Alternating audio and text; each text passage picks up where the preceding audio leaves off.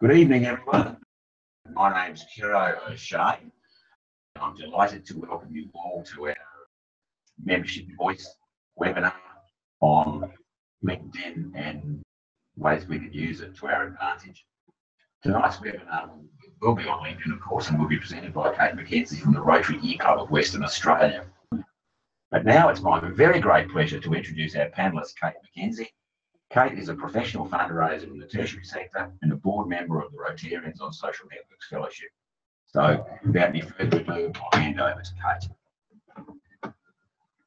Okay. Hi, everyone. Uh, I'm really pleased to be talking about LinkedIn today because I think it's a social network that not enough people are using to uh, promote Rotary and to you know help more people discover what Rotary is about. I think it's something with a lot of potential.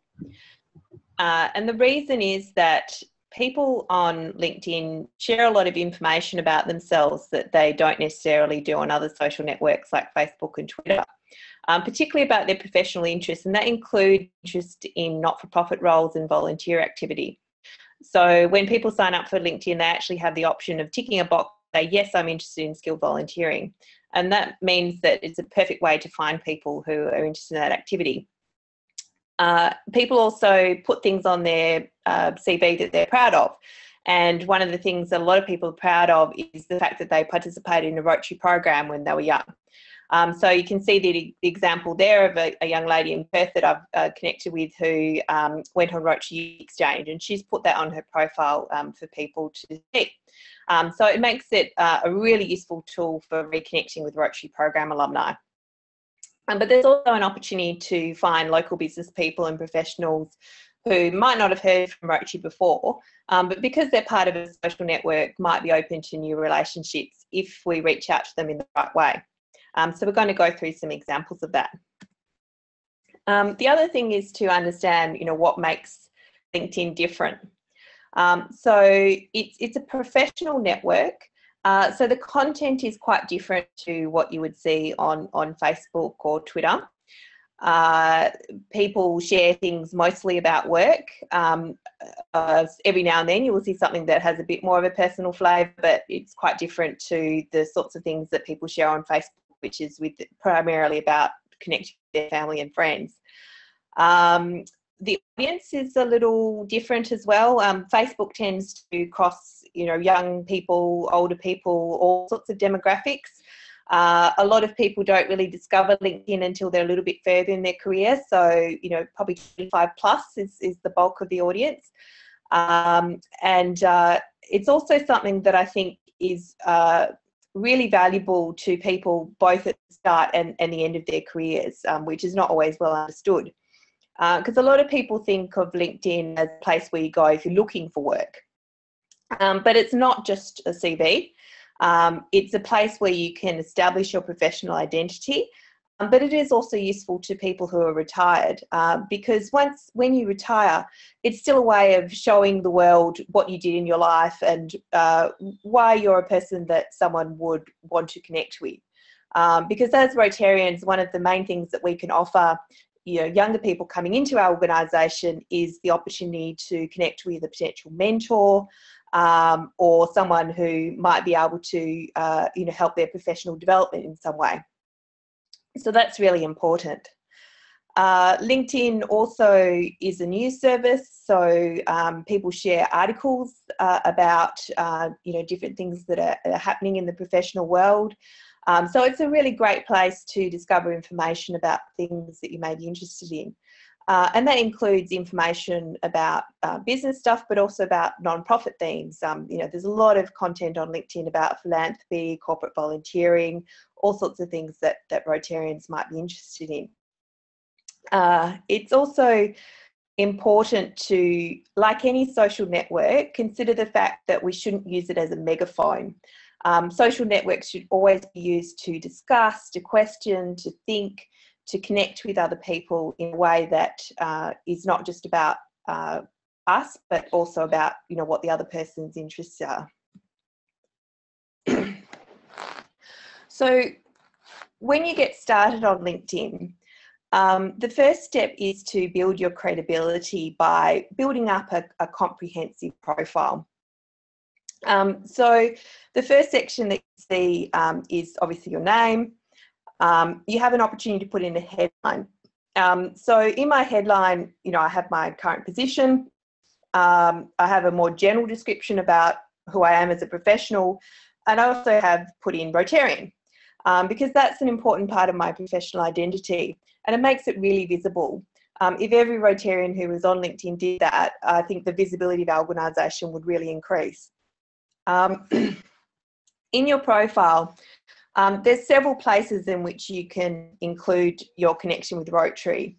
So uh, if you're um, currently working, um, usually you have, you know, the employment section where you would have a list of your current uh, positions or, or, or, past positions. Uh, but um, you can also add a, a, volunteer section where you would put any volunteer roles that you have. Uh, if you are retired and Rotary is your main activity, uh, you can put the um, your Rotary role, for example, if you're president of the club or secretary, um, in as a as an employment position because that's your main activity. Um, but for most people who are still working, um, you would put uh, you would create the volunteer section and put all your volunteer roles in there. And you can put as much detail, um, you know, as you have space for in that section. Um, and you know, and obviously updated over time if you change roles or change clubs.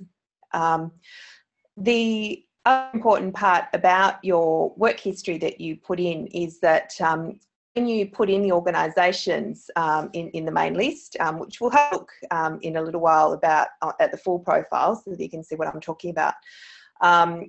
Um, but it's important to actually search for the organisation that you've worked at um, because most organisations will have a profile that already exists in LinkedIn that you can link to. So that then networks up um, yourself with other people that work at the same organisation. So um, when you type it, you should be able to find you know the existing record to, to link to. Um, it's also important to uh, detail your education um, uh, because that also creates a connection between you and other people that might have studied at the same institution. Um, and uh, you know obviously whatever whatever level of education you have. Um, so that all builds credibility because you know people can see who you are they can see your uh, credentials and when it's uh, written in a complete way um, it it just builds trust in the fact that you're a bona fide person who you know is going to offer them something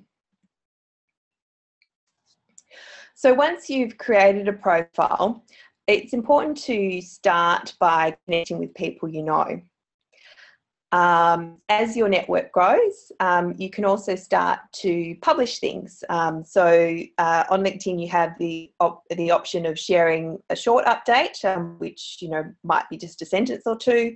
Um, you can upload photos, and you can also write articles, which you know tend to be a couple of paragraphs in length.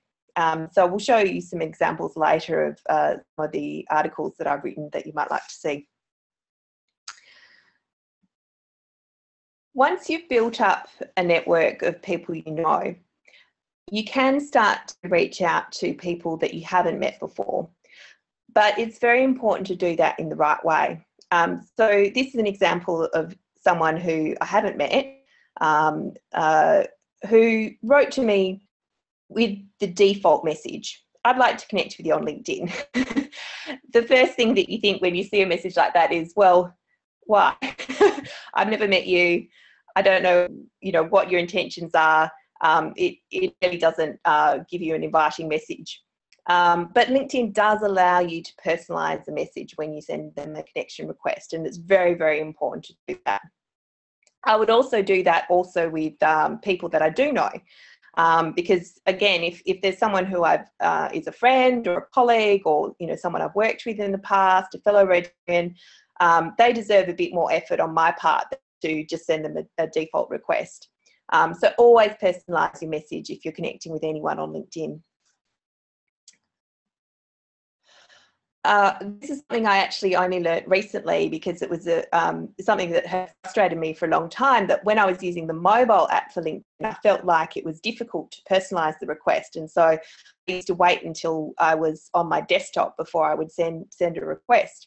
But then I discovered that on the mobile app, when um, you're looking at someone's profile, um, these little three dots here open up another menu.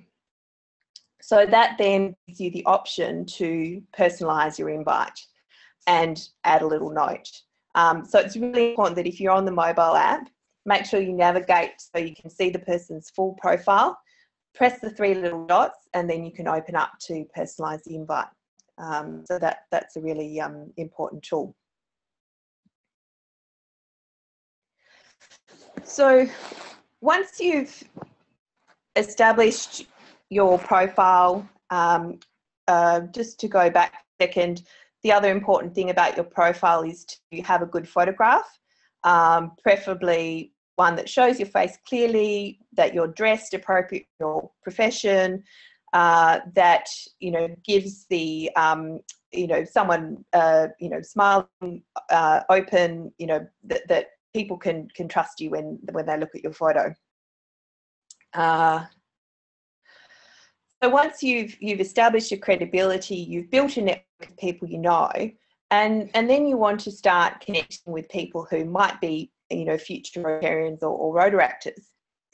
So how what sort of um, people would you want to look for?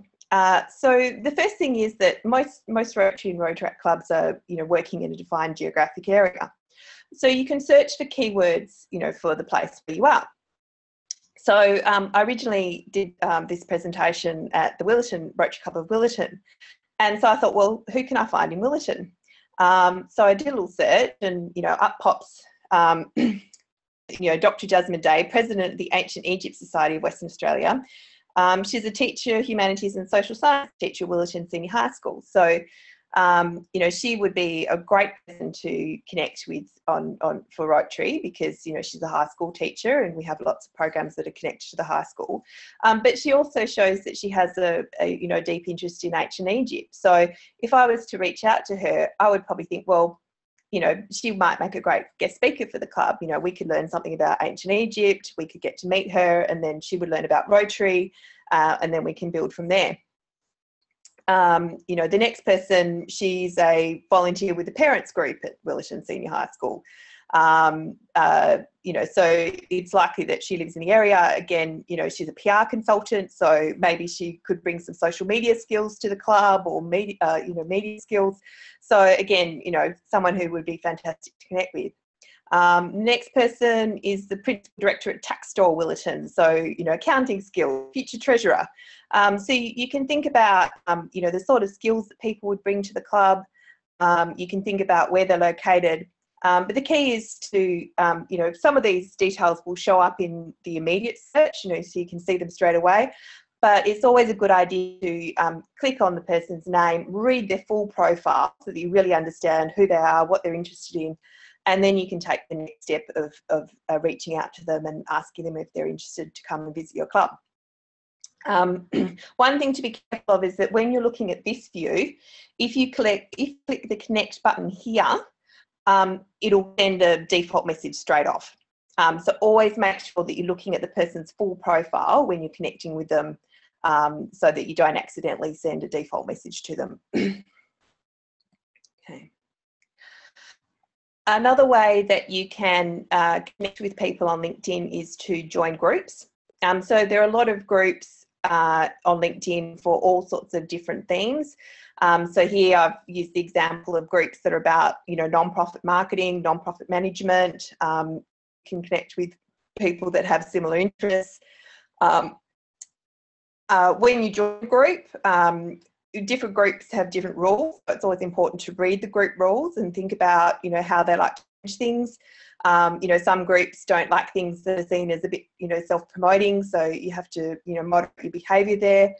Um, but most groups are quite open to people who ask questions, to share ideas and make suggestions. So, um, you know, once you get a sense of the group and who's in it and what sort of conversations they're having, um, you can get a lot of value out of a group.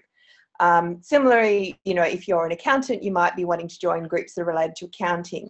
Um, but you know, you can ask questions in there that you know might uh, over time, you know, help people learn about Rotary as well. Um, so the other way to get noticed on LinkedIn is to actually, um, as, as I was talking in, in the first section, is to write um, articles and post updates and comment and share on other things that other people have written.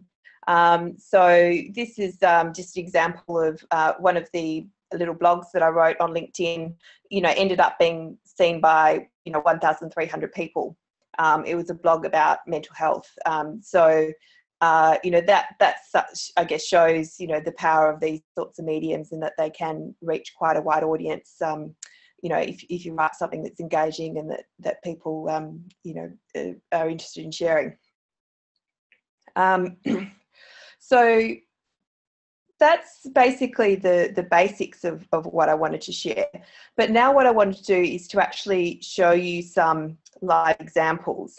so this is um, where things might get a bit tricky. Okay, so uh, have I lost the sharing? No, you should still have it. I haven't, haven't taken it away from you, so that's you should, you've still got a paper. The screen um, there's just a message up the top saying sharing is paused. Okay, I resume share. Yep. Can everyone see the LinkedIn page now? I can't see it yet. It's it does seem okay. to no. Don saying no. Yeah, just let me um fix that. Okay, so I think. So do you have the uh, the browser open? Yeah, I have the browser open. So what I might do is I'll stop share and then I'll share yep. my screen again.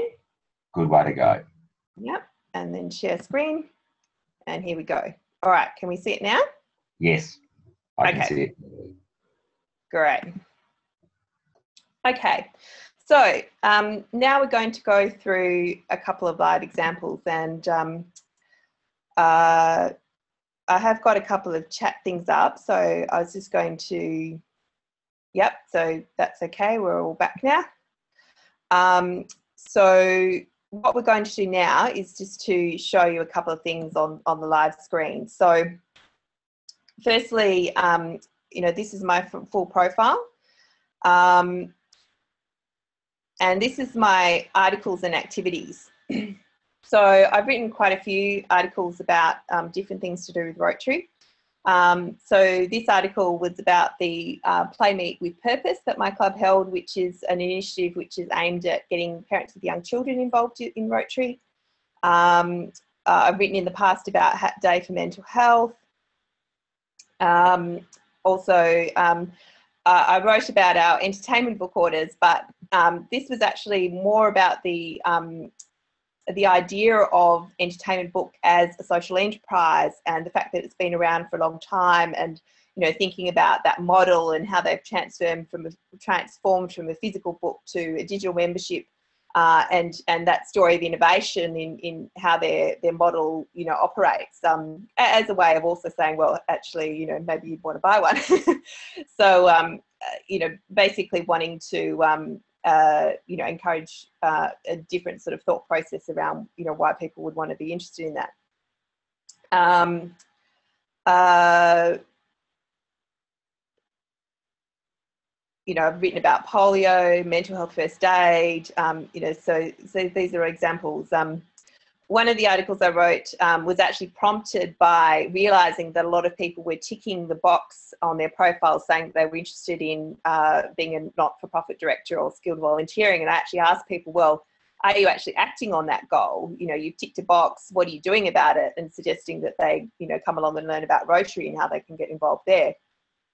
Um, and this one is about um, so you think you want to be a social entrepreneur. It's basically the idea that if um, uh, you know a lot of people think that if they've got an idea for changing the world that they need to set up an organisation on their own, whereas actually they can join Rotary and and achieve a social project within Rotary and get all of the support and the, the network from that. So um, you know, through um, you know sharing these sorts of things, um, you know, some have been viewed 500 times, 200 times. I mean, obviously, um, you know, the um, you know some some articles do better than others, but um, you know, I think that it, it is worth it to um, you know create those sorts of things.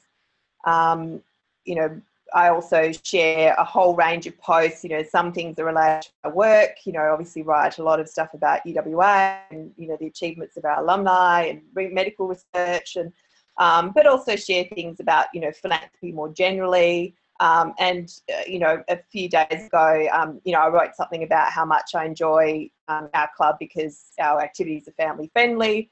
You know, I can be a parent, a professional, and a volunteer. So um, although you know this sort of photo might be something that would more often be on Facebook, the fact that I've put it in a professional context um, means that you know I can share things like this on LinkedIn, you know, occasionally, not all the time, but you know, every now and then it's um, it, it, it fits.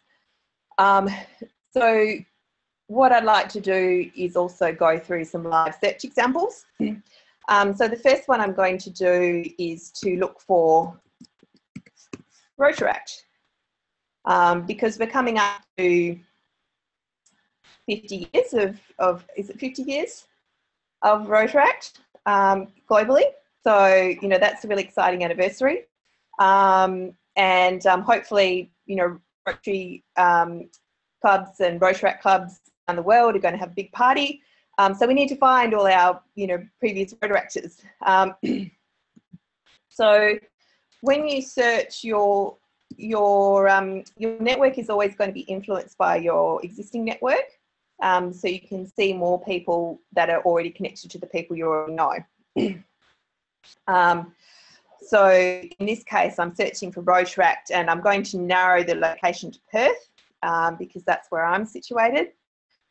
And also um, uh, because I, you know, don't want to necessarily bother with people I already know, I'm just going to look for my second and third connections. Okay, so that's then narrowed um, people who come up with a search term of Rotaract down to 175 people, which is kind of manageable to, to, to search through. Um, but if I want to narrow it further, I can I can go down and tick tick the people that have you know interest in skilled volunteering and interest in board service because that um, you know is going to narrow it down now again. Um, so now it's narrowed it down to 48 people. Um, so that's you know a much more manageable list to start with.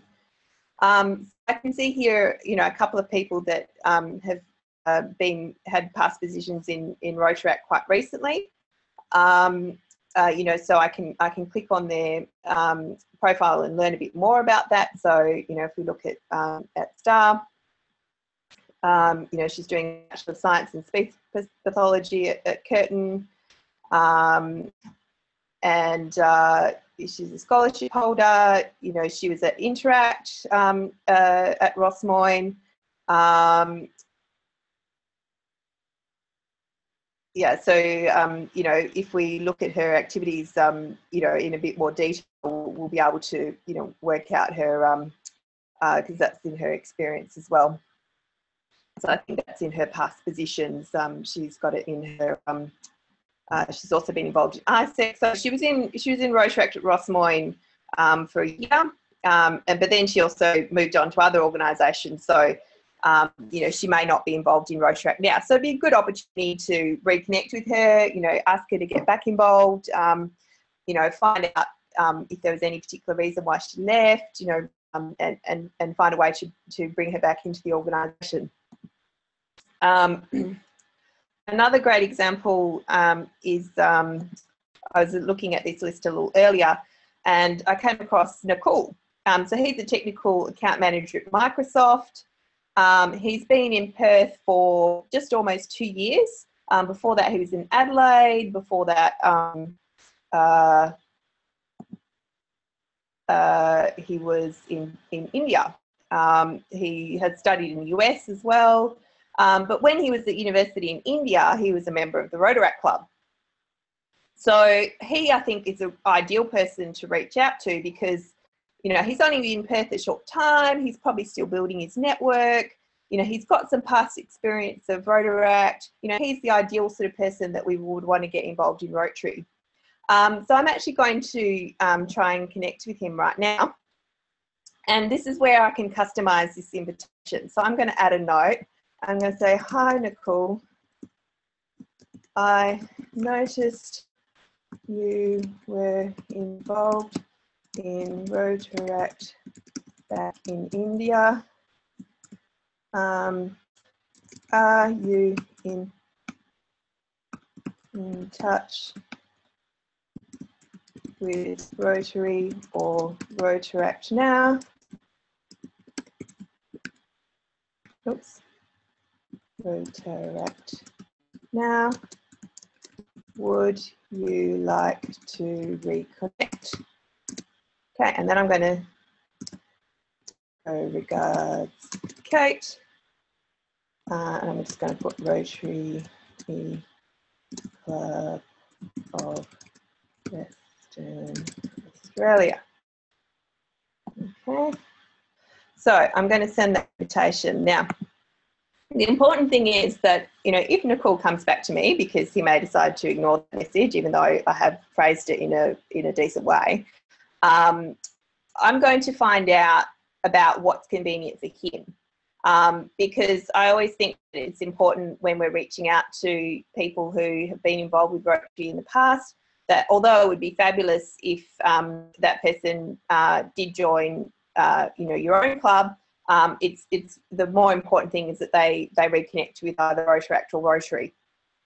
Um, so I'm going to ask him questions about um, you know, what sort of areas of Perth um, suit him? Does he prefer to do stuff in person or is he interested in doing stuff online? Um, and, you know, once he gives that feedback, then I'll give him a few suggestions, um, you know, suggest that he tries at least two or three clubs before he decides what the right one is.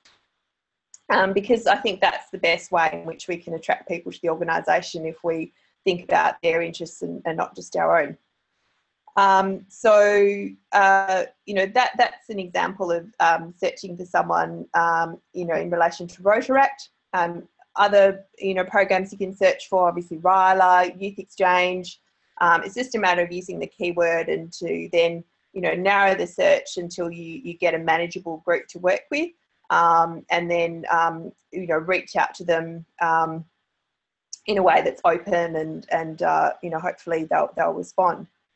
Um, so what I can probably do now is to try a few different searches that um, would come from the audience. So um, if anyone has got a search that they'd like me to try, um, preferably something that is based in either Perth or Sydney, because um, that's where my network is the strongest. Um, so if there's anyone who wants to make a suggestion, you can use the chat box to you know, give me an example of something you'd like to search for. Um, so it might be a location, it could be um, someone in a certain profession or industry. Um, you know, we can we can have a go at, at searching for for someone. Any ideas?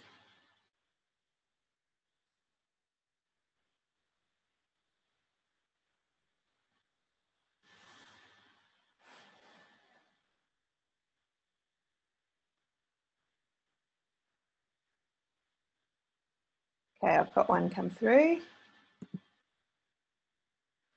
Agile software development. Okay, let's have a look for people in agile software development.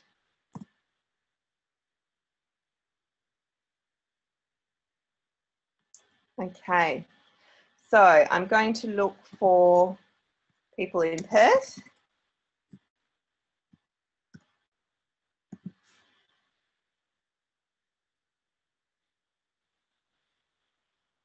Okay. And I'm going to, again, narrow my search um, because it's got 3,000 and that's a few too many to go through by people who are showing a non-profit interest um, because, you know, I'm wanting to reach out to them about Rotary. So, you know, I want them to at least have thought about doing something in a non-profit context. Um, I'm also going to, again, focus on, you know, second and third connections because um, um, you know, I've probably already, you know, pestered the people I know about joining Rotary. um, and uh, here we go. So, um, I'm going to close that chat thing. Okay, so um, you know we've we've we we've come up with 438 results. Um, so we've got Raul, who's an Agile Co-Scrum Master in Project Management at um, at IBM. Now, if we have a look at um, Raul's interests, um, you know, he's been in Perth for a bit over a year. Before that, he was in Singapore. Before that, India. Um, you know, so it's probably quite likely that he has had some exposure to, to Rotary in India, you know, although he doesn't mention it in his profile.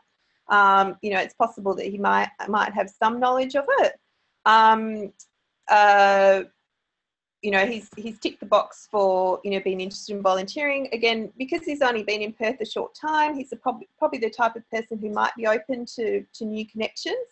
Um, so again, we could we could connect with him and um, you know send him a message say you know um, you know I'm from a non-profit organisation who's um, you know um, we're, we're in need of you know someone who might be interested in, in volunteering that can do agile software development um, you know, would you like to come and visit our, our local club or, um, you know, uh, you know, reach out to them in that way. Um, so the important thing is, is to, you know, uh, make it personal, show that you've read their profile and understand who they are and what they might be interested in, um, and, and to take it from there. Um, again, um, we can probably do another search. Um, I'm just going to put plus Rotary just to see what happens. So I've actually come up with um, nine results of someone who, where it's got agile software development and Rotary. um, so here we've got, um, let's see what Adam has to say. Um, so he's a technology leader with a passion for people development, um, you know, associate engineering manager, solution engineering, payments, Java, um, housing assistant. Um, now we sort of need to figure out where has he mentioned Rotary. So um, he's done some stuff in the Pilbara. So he was a RYLA camp facilitator. Um, you know, and he's he's uh, uh, you know he did that up to 2016. So it's possible that he's still doing that. Um, so, you know, if I'm looking for someone with software skills that, um, you know, can help me with my um, uh, software development, then Adam's certainly a, a, great person to reach out to. Um, and that's also why it's really valuable to um, even use LinkedIn to search for people you already know. So, for example, you might have met a Rotarian several times, but not actually realised that they're really skilled in software development. Um, you know, because it just hasn't come up in, in conversation. They might be, you know, from a few clubs over. Um, so, you know, LinkedIn is a really useful tool for discovering people you already know as well as um, people that you haven't met yet. Um, so I think, was there another question or suggestion that had come through? I saw something flashing, but um, okay. Um, so let's try another example. Um, this time, I want to search for um, a guest speaker on a particular topic. Um, here's a suggestion here. Okay. Um, so, a, if I'm looking for a suggestion on a particular topic, um, uh, so um, does anyone have a, a, topic that they would like to search for a guest speaker? Does anyone have a suggestion there? So some sort of area of expertise that your club would like to learn about.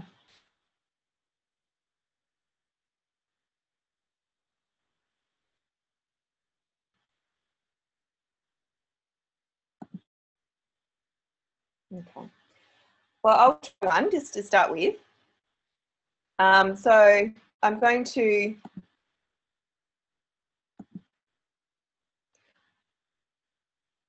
Okay, so Leanne Nola has actually suggested that we look for um, lifestyle village Baldivis um, and conservation of wildlife. So, because um, conservation is probably a, a topic um, that would be good for a guest speaker, um, I will uh, I will that one first.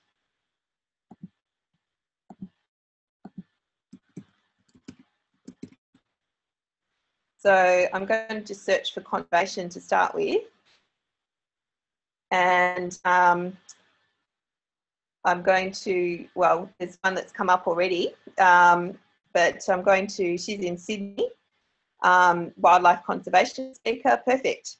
Um, and she's involved in the orangutan project. Um, so if I was in Sydney and I was looking for a wildlife conservation speaker, you know, she would she would be the perfect person. Um, okay, but if I want to look for someone in Perth,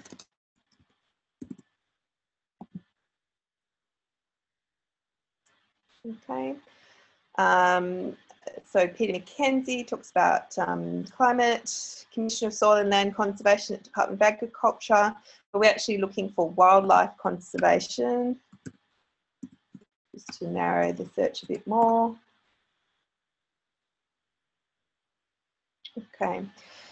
Um, so Assistant Director, Science and Conservation uh, Division at West Australian Department of Parks and Wildlife. You know, he, he would be a perfect speaker.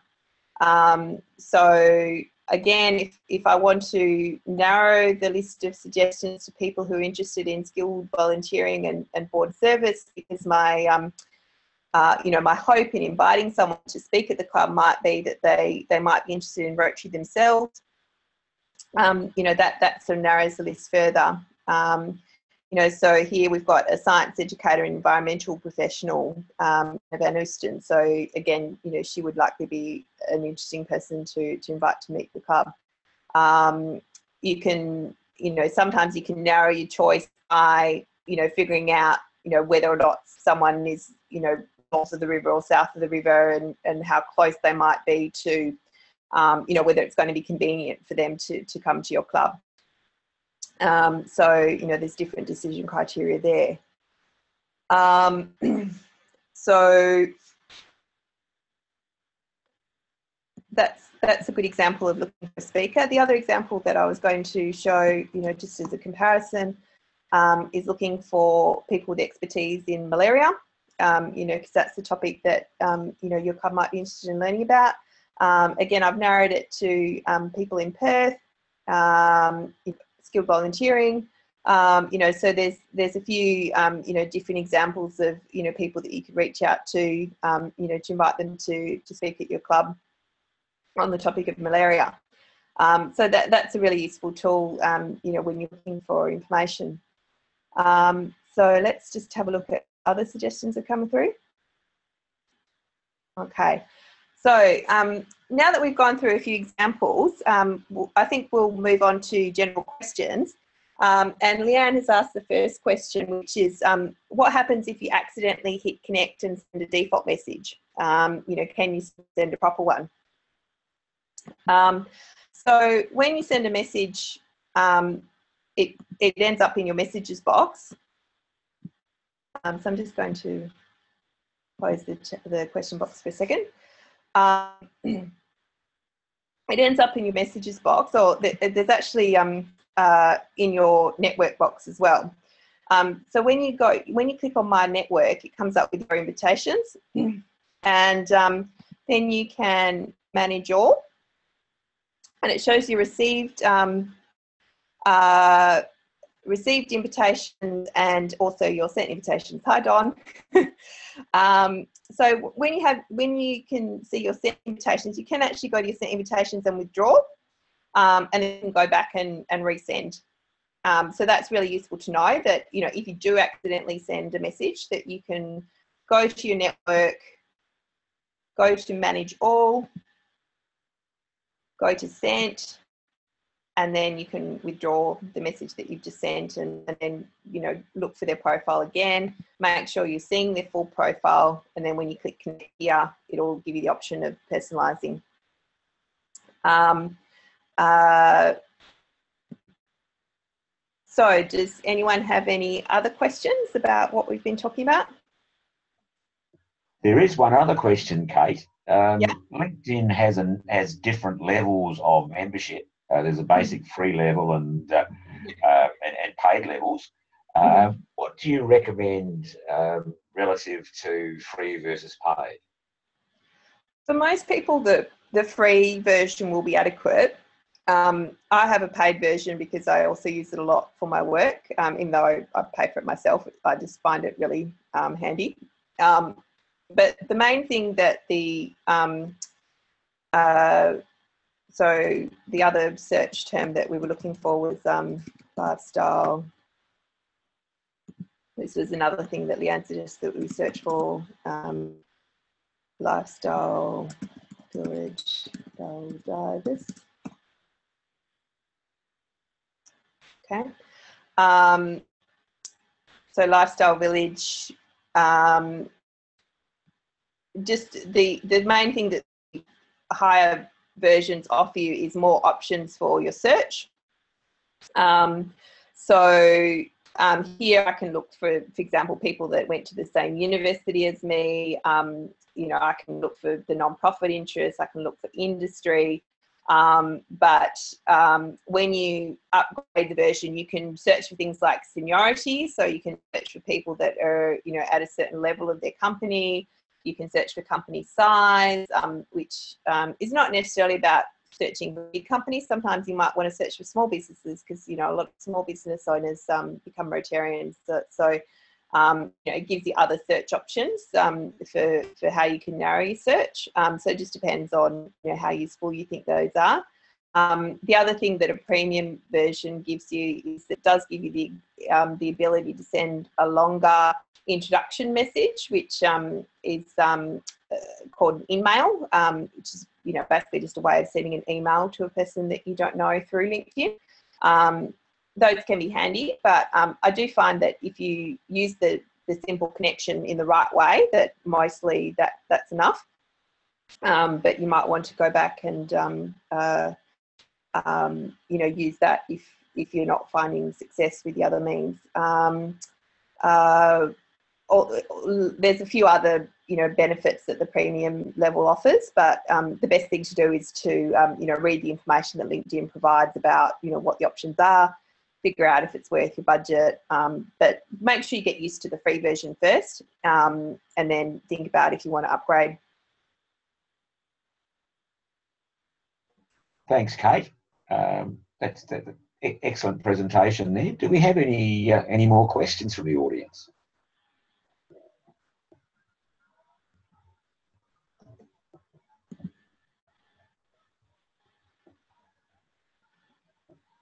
Okay. Look, it looks like uh, you've, you've satisfied your audience's uh, requirements there uh, quite quite well, Kate. So thank you for doing that. Um, yeah. Uh, here's something. Maybe. Something. Great job from, uh, from Julie Aubrey. Oh. Great to have you. Thank you. yeah, I'll just have a look in the Q and A and see if anything else. Yeah. So. Yeah. Excellent. Okay. Um, just so that I know a bit about the audience, um, uh, would everyone sort of mind um, sharing where they joined the webinar from? Uh, which Rotary Club or if you can type that into the box, the chat box or the Q&A box. Be interesting to know.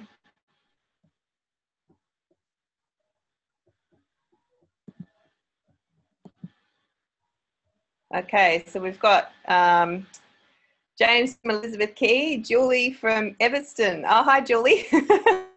um, so we've got um, Mark from Bunbury. That's great. Okay, who else have we got here? Um, so Leanne from Baldivis, Satellite Palm Beach That's great. Yes, got a few different people. And Don from Club of Southwest USA. That's great. Wow, what time what time of night is it in the US? or morning? Is it morning there? Hopefully you guys aren't losing sleep. 7.15 in the morning.